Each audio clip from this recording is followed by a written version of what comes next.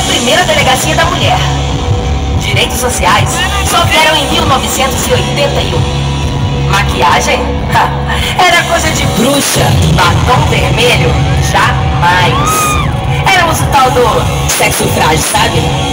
O preconceito fez parte da minha vida desde o início. Chega de padrões de beleza